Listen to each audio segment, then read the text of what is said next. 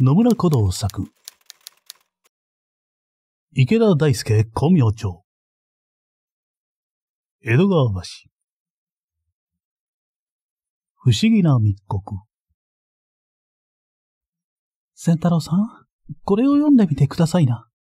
少女美濃は、封のない手紙を取り出して、縁側に腹ばいになっている、飴屋の千ちゃんの前に置きました。池田大輔は、主君、大岡越前の神の御用で、神奈川まで行って留守。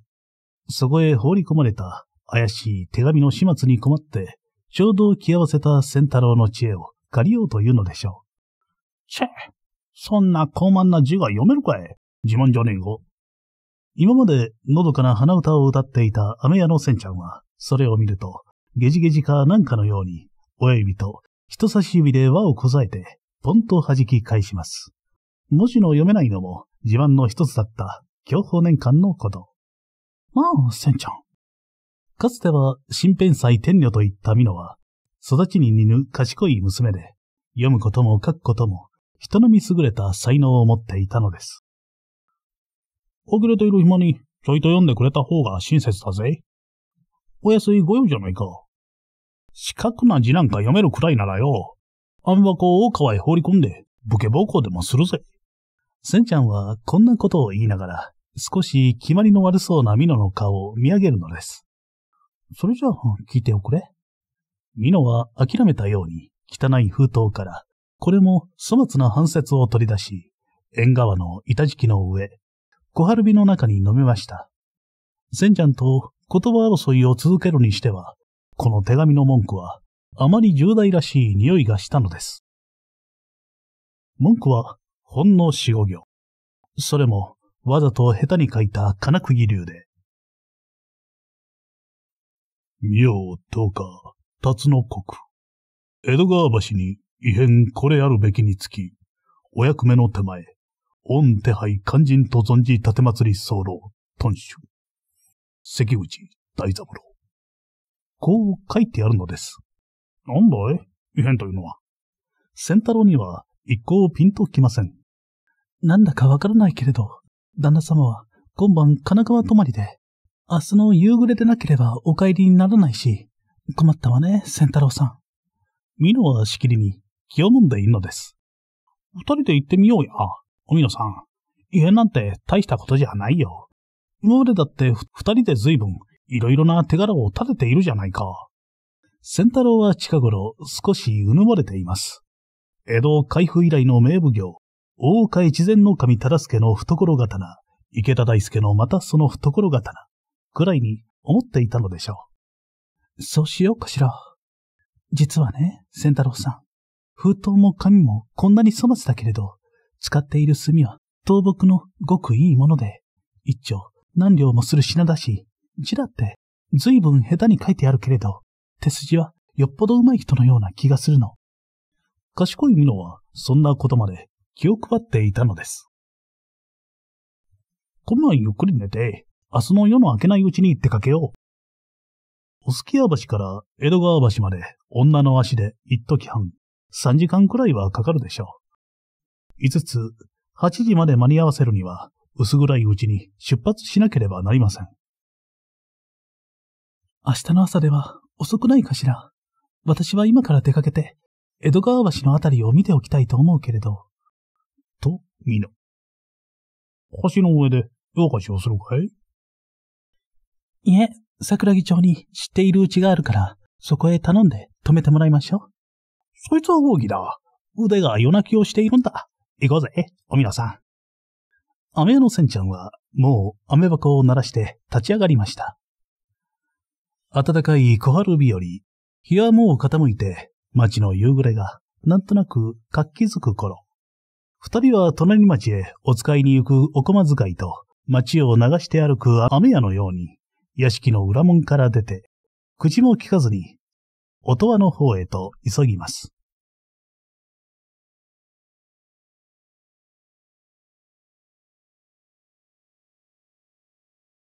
橋の下の炎症。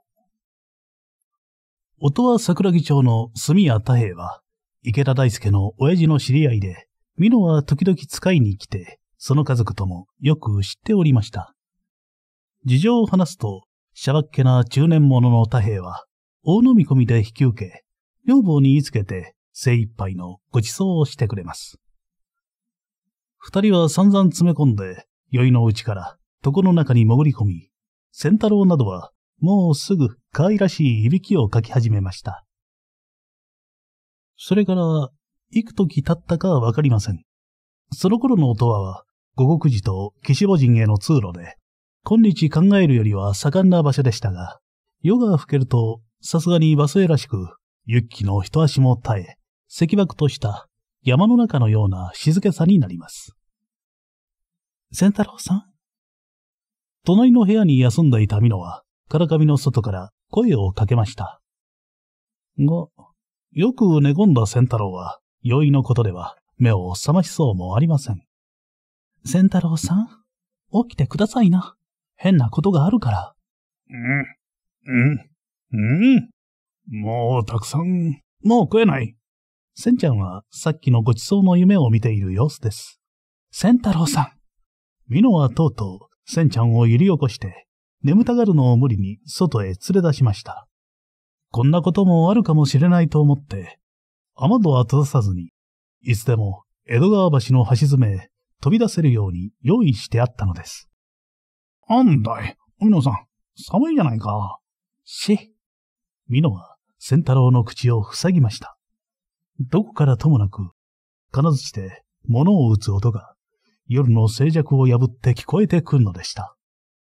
なんだい、あれは。と、仙太郎。橋の下らしいわ。物を打つ音が水へ響くでしょう。美濃のいい耳でなければ聞き戻したでしょう。水へ響く土の音などは仙太郎にわかるはずもありません。橋の下で何をやる気なんだろう。し、人が来るようよ。二人は物陰に隠れました。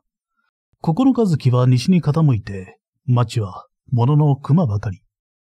二人の少年少女の姿などはどこへでも潜り込みます。やて、石垣の上一人、覆面黒装束の少し太った男の姿が、どこからともなく現れると、橋の下から這い出してくる、同じ覆面黒装束の背の高いもう一人のくせ者を、両手を差し伸べて引き上げました。それから、縄橋子らしいものを手繰り上げて、二人の覆面は物をも言わずに、音羽の方へ連れ立っていきます。何をやったんだろう海野さん。その後ろ姿を見送りながら、せんちゃんは囁きます。わからないわ。でも、橋の下に何かいることだけは確かね。覗いてみようか。仙太郎は駆け出しました。美濃の止める間もありません。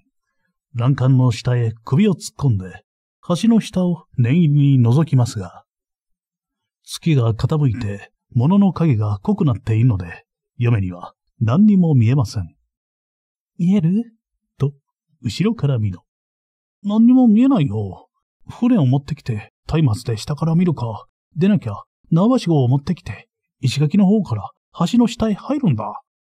仙太郎は、もう出動を開始しそうです。そんなことをして、人に見られると悪いから、私、行ってみましょう。ミノは小妻を掲げて、裾を膝の間に挟むと、手ぬぐいを出して髪を包みました。橋の下の猛烈な土ぼこりを避けるためでしょう。大丈夫かい？海野さん。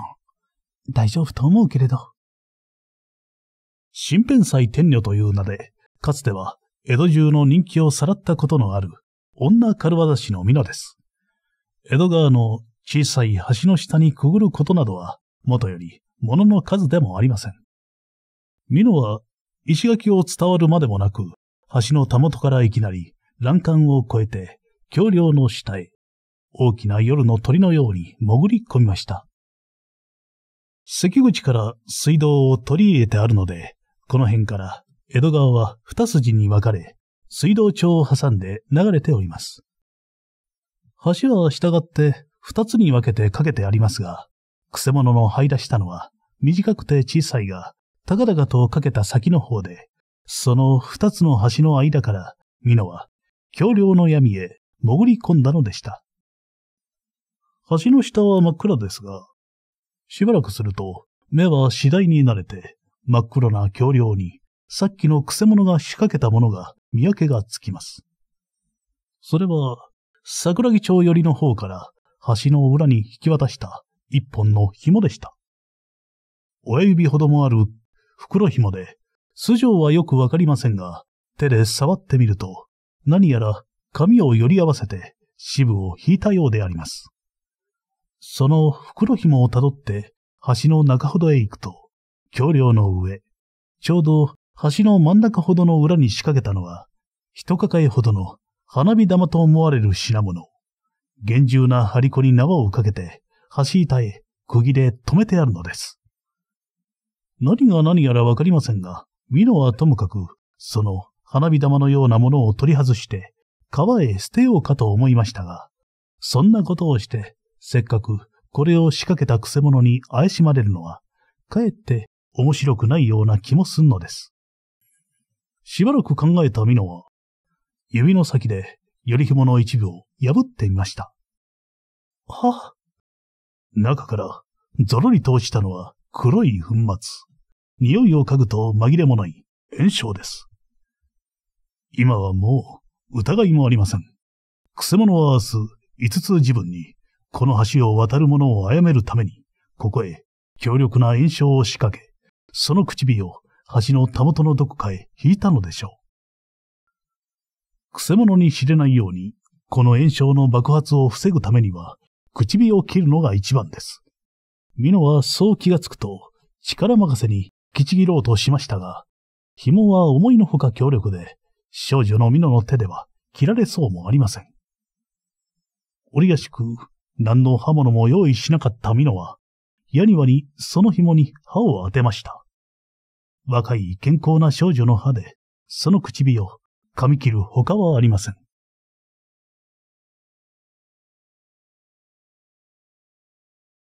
俵の中の仙太郎。橋の上の仙太郎は心配でワクワクしながら、美濃の仕事の済むのを待っておりました。あたりをはばかって、下からは何の合図もありませんが、美濃が精一杯の作業をしていることだけは、ものの気配でわかります。ちょうどその時、さっき、音羽の方へ引き上げた二人の覆面は、何をするつもりか、疾風のごとく引き返してきました。驚いたのは欄干に持たれて橋の下の美濃の作業を見張っていた仙太郎です。気がついた時は、もう音は九丁目から江戸川橋へまっすぐに近づいているではありませんか。あいつらが一回してきたよ、ホミノさん。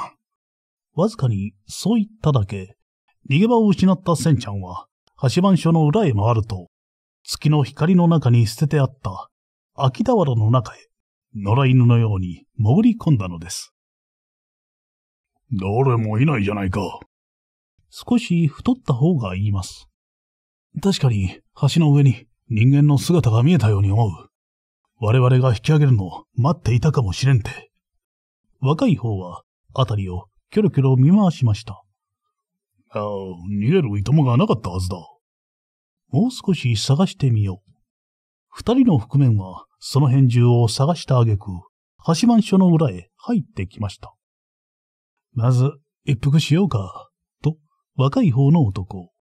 そんなことをして、人に見とがめられてはならんぞ。いや、そんな心配はあるまい。とにもかくにも、一服しよう。この俵へかけぬか。若いくせ者は、橋番社の裏の俵、雨屋の仙太郎が潜り込んだのへ、どっかと腰を下ろしたのです。のんきな男だ。うっかりすると、東が白むぞ。そう言いながら、太った男も、俵の端の方へ誘われるままに腰を半分かけて、あっと飛び上がりました。何を驚く。この中に人が。しえ、人が聞くと驚くぞ。静かにせい。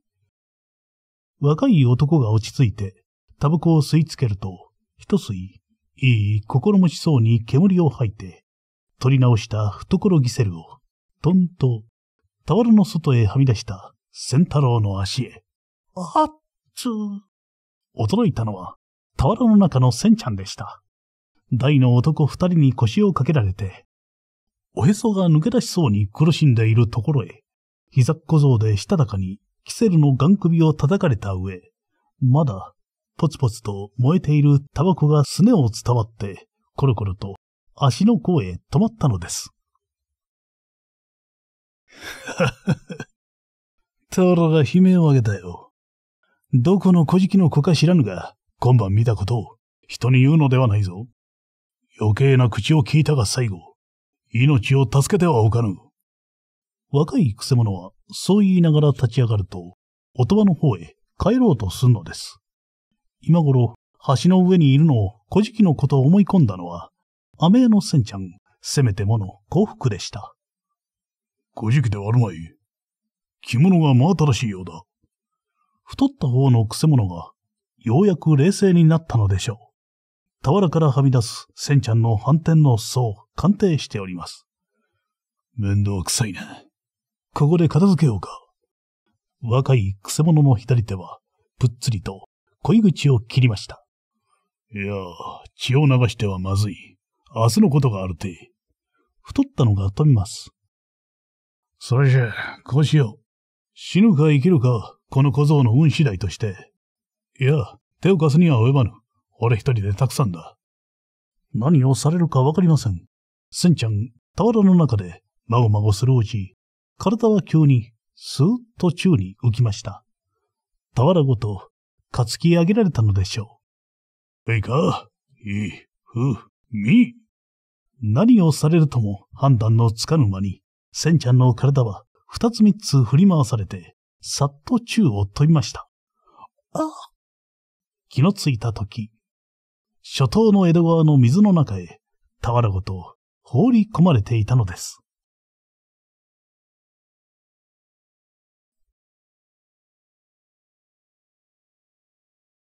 佐吉は殺された。あくる日の昼過ぎ、池田大輔は神奈川から帰ってきました。飛びつくように迎えたのは少女美濃と少年仙太郎。大将、待ってたぞ。雨屋の仙ちゃんは鼻をすすります。どうした仙太郎。日向へさらした雨のような顔をしているじゃないか。大輔は旅装を解きながら笑って聞きました。江戸川へ振り込まれたんだ。俵が邪魔で泳げやしないや。おかげで風邪をひいちゃったぜ。拍手を。江戸川だの、俵だのって、それは一体何の話だ？大輔も驚きました。せんちゃんの話はあまりに飛躍的です。美濃はその話を中途から取って、詳しく夕べの一列を説明してやりました。不思議な手紙から桜木町の炭屋の藩や、それから、橋梁の炎症のことから、二人のくせ者の話。それは大変であったな。で、今日いつ時に何があったのだ？大輔は眉をしかめます。それが何もないから不思議で。と、せんちゃん、甚だ物足りないようです。ちょうどその時分、桜井秀の神様、お後取り力様、元服のお目見えに、初のご途上で、江戸川橋を通りました。と、みの。何？桜井秀の神様。大御番頭、8500国のご大臣だ。その後取りの途上に間違いはなかったのか大輔はさすがに驚きました。江戸川橋のたもとにいた風体の悪い男がタバコの火を炎症に移しました。ミノ。音も立たないし、煙も見えなかったぜ。仙太郎は宙を入れます。橋の下の唇をゆべのうちに三着ばかり切り取った上、欄干に絡んだ唇は、今朝になってから示しておきました。うん。美濃の知恵が、桜井秀の神の着し、力を救ったのでしょう。唇をつけた男はどうした？柳井の方へ行ったのを、仙太郎さんに後をつけさせました。と、ミノ。行く先を突き止めたのが、仙太郎。逃げも隠れもしねえ。落ち着いて、のこのこ歩くんだもの。あれなら、あんまりだってつけられるぜ。仙太郎は、空嘘吹きます。どこの何というものだ柳井の佐吉という安博打ちさ。それからどうした土地の御用聞きに頼んで佐吉を見張らせ、大将の帰りを待ったのさ。それでよし。が、御用聞きは誰だ？赤木下の二八とか言ったぜ。と、仙太郎。しまった。二八は資料の浅い男だ。なんか間違いを起こさなきゃいいが。ともかく、大急ぎで行ってみよう。音羽の五国寺は、化粧院様ご祈願所で、上様格別のお扱いのある霊廟だ。その五国寺に通う橋、それも、江戸の上水道の喉首の橋を炎症で落とそうとしたのは容易ではない。さ、仙太郎、案内せい。神奈川から着いた誇りも払わず、大輔は仙太郎を促して飛び出しました。が、出会い頭。と、大変、池田様。飛び込んできたのは、赤木下の御用聞き、二八です。どうした二八？佐吉は殺されたろう。あ、どうしてそれをご存知で？中年男の二八、汗を吹き吹き、開いた口も塞がりません。わかっている。佐吉の口を塞ぎたい人間があったはずだ。それを殺させたのは、お前の手落ちだぞ。へえ。どこで？どうして殺された？自分のお家の中で昼寝しているところをやられました。お前は、外で見張っていましたが、くせ者の姿を見かけませんから、裏から入ってばらしたようで。家の中には佐吉の他に誰もいなかったのか。佐吉は一人者でしたよ。大輔は黙り込んでしまいました。この男の間抜けさに災いされて、大きなくせ者が指の間を盛る水のように一してしまったような気がしたのです。お前は一足先へ行って、江戸川橋を見合ってくれ。欄干と橋梁へ人を近寄らせちゃならない。それから美濃は姿を変えて、桜井日の神様のお屋敷の近所へ行き、奉公人や出入り商人の噂を聞き集めてくれ。はい。仙太郎はわしと一緒に来い。これはとんだ大物だぞ。大輔は、美濃と千ちゃんと二八を促して、おすきや橋から音羽へ飛びます。蒔絵の印籠。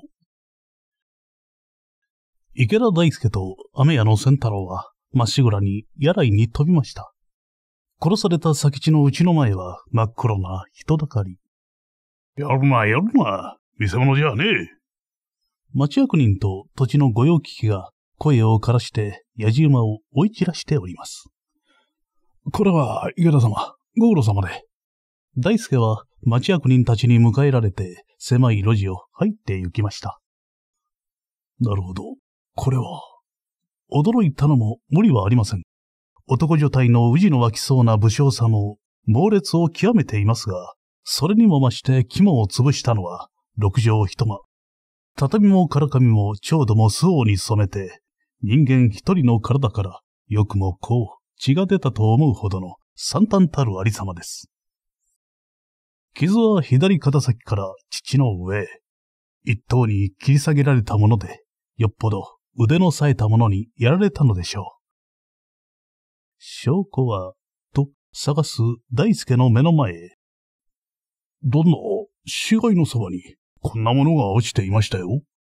土地の御用聞きが取り出したのは、梨地に辛さを高巻絵にした結構な印籠が一つ。ところどころに散らしたい下駄に、花火師の門は滅多にあるものではないはずです。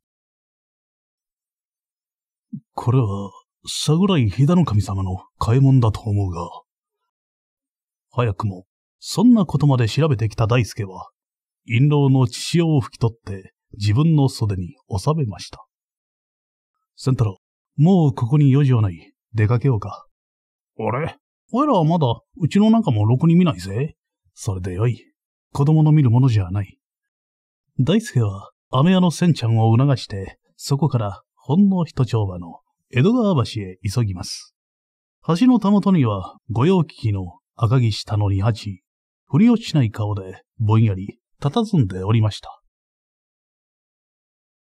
二八、変わったことはないか？大輔は昼過ぎの人通りを眺めながら、さりげない調子で、二八に尋ねます。何にもありません。もっともちょいちょい橋の上に立ち止まって、下の方を覗くものはありますが。どんな風景の人間か、どんなことをした？武家が二人ばかり、それから女が一人。女が一人。その顔を覚えているが。それが、その、うっかりしていたので、よくはわかりません。何でも、若いような、年を取ったような、太ったような、痩せたような、バカ池田大輔も、とうとう感触を起こしてしまいました。大将、橋の下へ潜ってみようか。雨屋のせんちゃんは、もう鉢巻きをしております。いや、日中はなるまい。世間を騒がせては相すまぬ。それじゃあ、ここで日の暮れるまで待つんで。せんちゃんは不平そうです。昨べ、くせ者に江戸川の中へ放り込まれ、危なく土左衛門になりかけた悔しさ。何とかして一刻も早くその仇が打ちたかったのでしょう。気の毒だが見張っていてくれ。橋番小屋へ入れてもらって、あの窓から覗いている方がよかろう。変な奴があったら、後をつけるかい大将。いや、それには及ぶまい。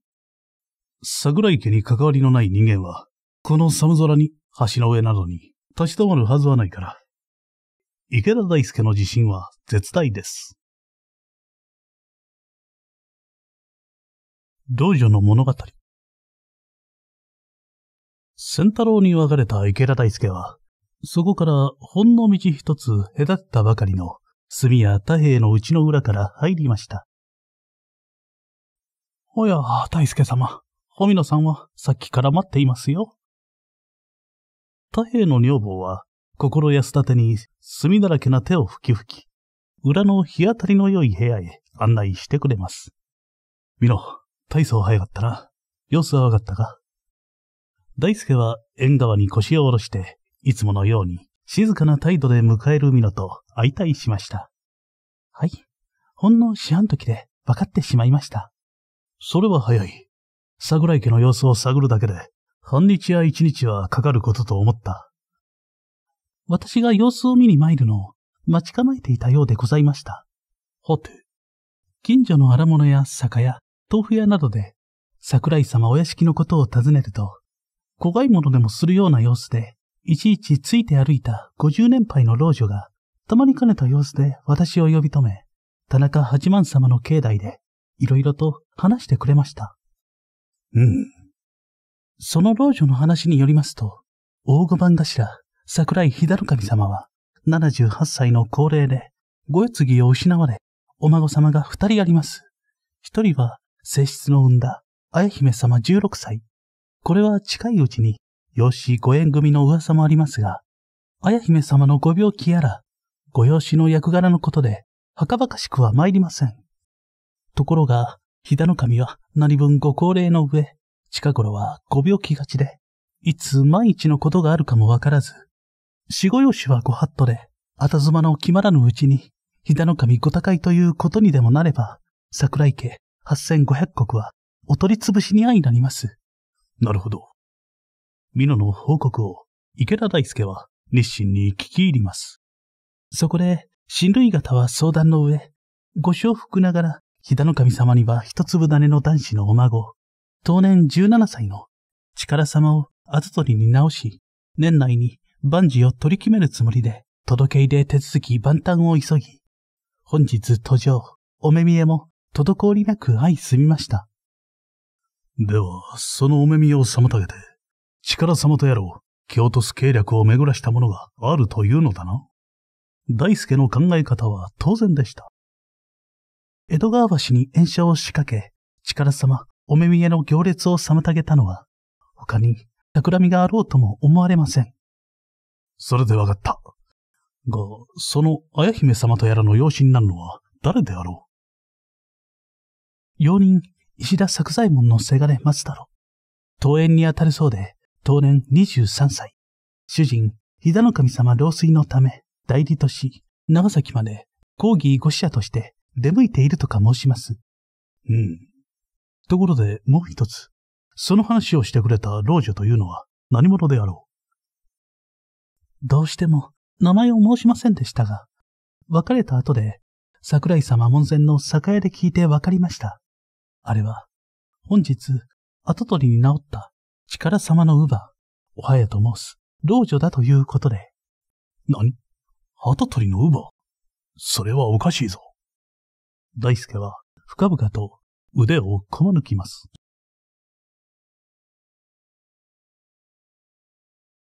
大爆発。その晩、江戸川橋に集まったのは、池田大輔、美濃、仙太郎、二八の四人。二八は船を出して下から手伝い、仙太郎と美濃は橋桁の下にくぐって、前の晩、くせ者が仕掛けていった花火の一尺玉ほどの炎症包みを取り下ろしました。むやみに金して叩いてはならんぞ。万一、火花でも散ると大変なことになるから。大輔は橋の上からいろいろと指図をしております。やがて取り下ろした炎症玉。今日の言葉で言えば爆弾。それを橋番小屋の前に持ってきて、4人、額を集めました。張り子だよ、大将。破って中を見ようか。雨屋の仙太郎は、もう無法なことを言います。待て待て、その張り子が、なんか面白いものを見せてくれるだろう。明かりを貸せ。大輔は二丁の提灯を寄せて、大地の上に置いた炎症玉をひっくり返し、ひっくり返し、調べました。これは念入りだ。証拠がたくさんありすぎる。そういうのも無理はありません。炎症玉を厳重に貼ったのは、何十枚とも知れぬ保護紙だ。その保護の中には、桜井日田の神の名が、あちらにも、こちらにも見えるのです。これを持って、桜井の屋敷へ乗り込むか、大将。千ちゃんが勇むのも当然でした。ちょうどその時、何に驚いたか、池田大輔。危ないのけ一番爆弾のそばにいた千ちゃんを突き飛ばします。おう。千ちゃんが跳ね飛ばされて、危なく貸しっ端の柳にしがみついたのと、どこからともなく一条の火が飛んできて、炎症玉に突っ立つのと一緒でした。いや、突っ立つ瞬間、人抱えもあろうと思う炎症玉が、ドーンと恐ろしい勢いで爆発したのです。しばらくは炎と煙で何が何やらわかりません。大丈夫か？美濃、仙太郎。煙の中から池田大輔の声が響きます。旦那様、大丈夫。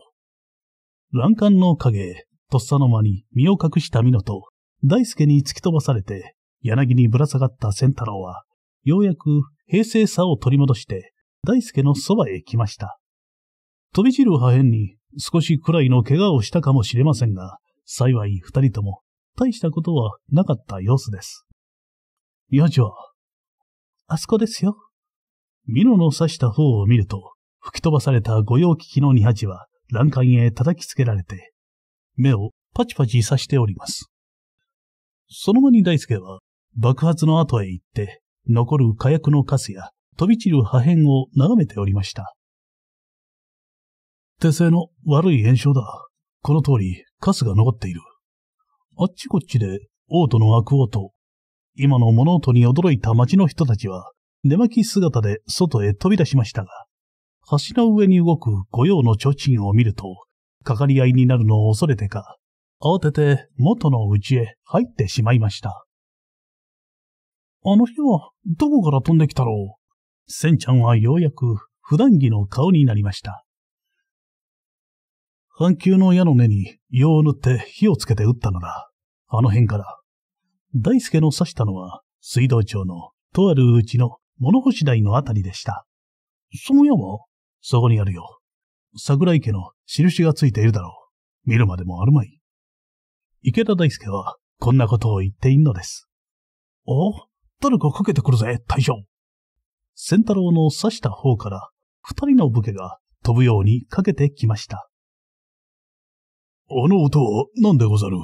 野因とはいえ、場所柄誠に穏やかではないが。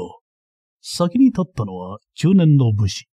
後から覗くのは若い平凡な武士。どちらも痩せた、どちらもあまり背の高くない男でした。橋の下に炎症を仕掛けたものがありましたよ。え？拙者は南町奉行、大岡一前の神4人、池田大輔と申す。ご貴殿方はこれは申し遅れました。拙者は篠原様じ。これは中年男。拙者は川瀬九太。七丁目の桜井家に曲がりあるものでござる。これは若い方です。拙者の姉がこの二三日不安なことばかり続くにより、昼夜の別なく若殿の身辺を守護してくれと申し、友人川瀬氏と二人、よいからこの辺を見回り中でござった。中年男はこう説明しました。姉上とおっしゃるのは、乳母、早と申す。美濃はいろいろ話してくれたおはやという乳母の、これが弟であろう。こんなにまで骨を折って、若殿力の身辺を保護する忠義な乳母のことを、美濃は物悲しい心持ちで考えておりました。ちょうど幸い、夜中ながら桜井様お屋敷にご案内を願いたい。ご用人にお目にかかって、桜井家の気球について申し上げたい。大輔は、早くもこの二人を利用することを考えたのです。疑われた二人。この印籠に見覚えがござるか？池田大輔の出した梨地に唐草の印籠。いかにも、殿様から、この作左衛門が大量の品に紛れもございません。桜井秀の神の用人、石田作左衛門。分別盛りの首をひねりました。少し太った温和な人柄も、なんとなく大臣の支配人らしい貫禄です。紛失した覚えはござらぬ。大地の上にも大事の品。紛失するはずもなく、もしまた万一紛失すれば、すぐ気のつくはず。はて不思議。そう言いながら、手文庫の中、押し入れの中を探しましたが、同じ印籠がもう一つあるはずもありません。当屋敷内に、阪急の名手というと、どなたでござろう。大輔は題目を変えました。まず、岩名小三郎殿かな？それは、奥方の恩弟、綾姫様のおじ上に当たられるが、ここへお読みもそう。作左衛門は小物を呼んで何やら囁くと、まもなく二十七八、痩せた長身の武士が出てきました。大輔と岩名小三郎は、気まずく挨拶を交わします。どなたか火薬火器のたしなみはさあ、それは思い当たりませんが。それでは、小よくされる方は？恥ずかしながら、拙者いささか。そう言いながらも、石田作左衛門は名誉の脳筆だったのです。もう一つ、お尋ね申したい。岩野様は、タバコをたしなまれましょうか？大輔の問いは、思いも当たりませんでした。いや、拙者も随分努力はしたが、タバコばかりはいけない。あの煙を嗅いだだけでも、吐き気を覚えますよ。岩名小三郎は顔の前で手を振りました。タバコの煙を払うといった格好です。それでは失礼ながら、拙者召使いのものをこれに呼び入れていただきたい。しばらくお待ちよ。井の辺に引き下がった小物は、今度は雨屋の仙太郎を連れてきました。さして立派ではありませんが、大家の用人部屋の冷たい亀しさは、千ちゃんを少しおどおどさせます。千太郎、ここにいられる方々に見覚えはないか？千太郎は黙って頭を掘りました。昨べ、江戸川橋で会った二人の武家と似てもおられないと思うのだな。よく似ているよ。太ったのと痩せたのと。これこれ、失礼を申すな。でも、心持ち違うわ。確かか？物を言ってくれるともっとよくわかるよ。仙太郎には遠慮というものはありません。拙者に会ったことはないと申すな。用人の石田作左衛門は太った体をねじ向けました。ゆえは拙者、どこへも出た覚えはない。岩名小三郎は、怪げな顎を撫でます。二人とも違うわ。昨べのくせ者は、もっと粋な物言いだったぜ。そんなさようしからばじゃねえや。これこれ、もうよい、お前は下がれ。池田大輔は仙太郎を叱りのけて、さて、改めて二人に向かいました。拙者は町方の者、かような大事にくちばしを入れるべきではござらぬが、と桜井家の不沈に関わる大事、一通りお聞きくださるまいか。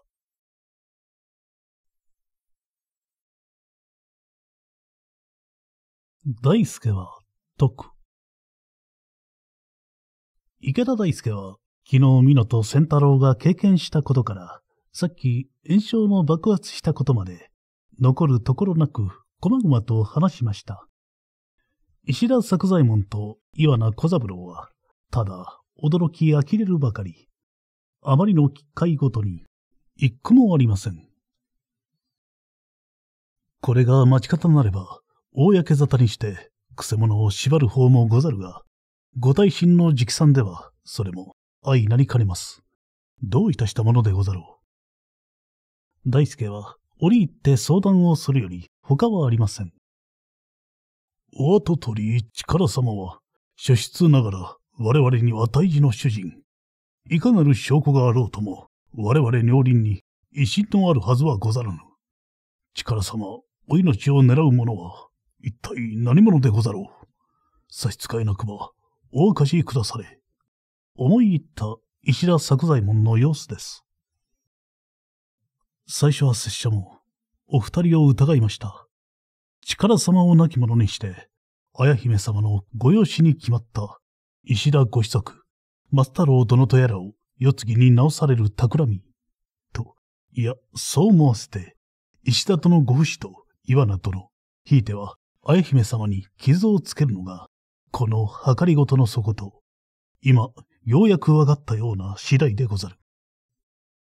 最初受け取った密告書は、粗末な紙に、書家でなければ、用いぬ空積みを用い、佐吉の死骸のそばには、石田殿の印籠を落とし、炎章玉には、桜井家の保護紙を用い、岩名殿ご自慢の反及を言い、こう考えると、お二人に疑いを向けるように、何もかも証拠が揃いすぎました。揃いすぎた証拠は、きっと、こしらえ者に決まっております。しからば、お二人に力様殺害の陰謀があるように思い込ませたのは何のため？何人の仕業でござろう？作左衛門と小三郎は顔を見合わせました。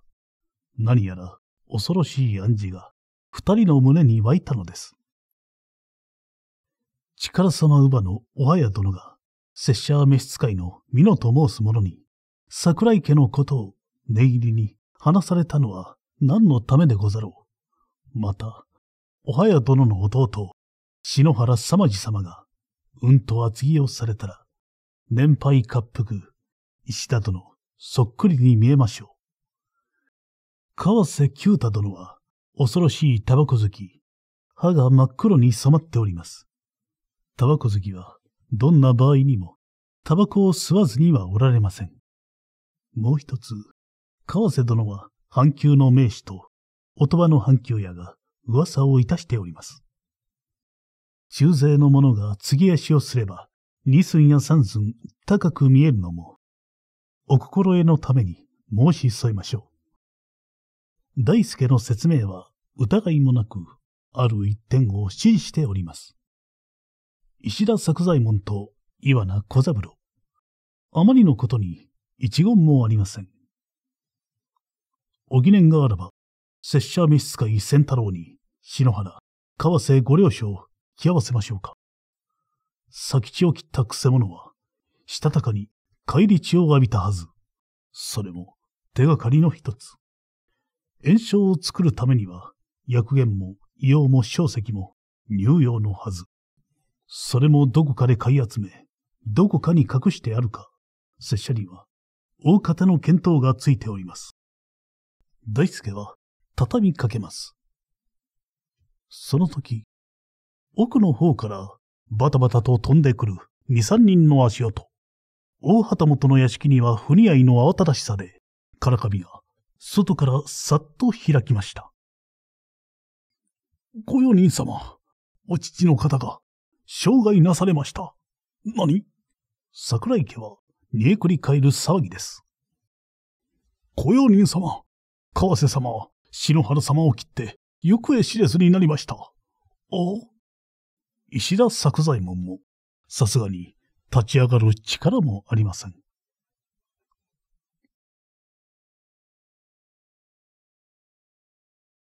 事件は一晩で片付きました。乳母の早が、せっかく力を後取りに直しても、綾姫に松太郎という養子を迎えれば、どう形勢が変わるかもわからぬと思い、とんだ思い過ごしから、弟の篠原様次とその悪友の川瀬九太を語らい、浅はかな計略を巡らして、綾姫と綾姫を巡る人たちを陥れるつもりだったのです。池田大輔は、旗本のお家騒動にかかり合う筋はないので、そのまま引き上げました。あとはやっぱり力が立って、桜井家は無事に収まった、と、風の便りに聞いただけのことです。池田大輔の巧妙手柄は、まだまだたくさんありますが、この物語は、ひとまずここで打ち切ります。最後にちょっと、新編祭天女のおみのは、その素性が分かって、立派な両親に巡り合い、改めて、大岡越前の神の仲人で、池田大輔の妻に迎えられたという、三年後のことを漏らしておきます。もう一人、千ちゃんは？それを忘れてはいけません。